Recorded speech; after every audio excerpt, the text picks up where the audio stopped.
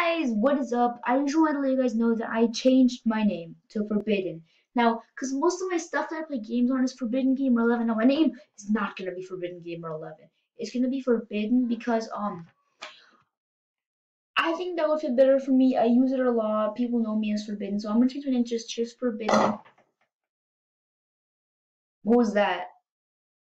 Okay. See, I changed, I'm going to change my name to Forbiden. Um, just like you guys know, I don't know when it's gonna be changed for you guys. Um, but I just changed it, and yeah, I'll start my hair ready if you guys know. But okay, I'm gonna stop. So yeah, I changed my name. Don't know when it's gonna be changed for you guys, but yeah, just want to let you guys know. So like, oh my god, it's a faker with if Finn's videos. No, it's me. I changed my name. I just want to let you guys know. So yeah, I'll see you. All right, let's go. What? Mom?